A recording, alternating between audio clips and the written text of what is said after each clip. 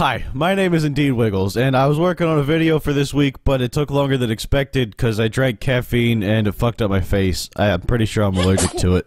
But then I got an idea. I would make a 2D animation instead, but that also takes a really long time. Like, a really long time, just to do something simple like conjoin twins in space.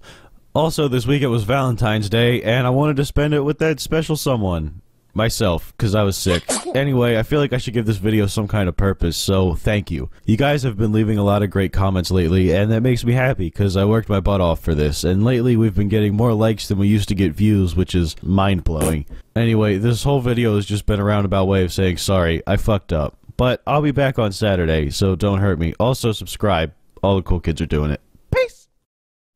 And don't get your panties in a bunch. I haven't missed a Monday in like seven months.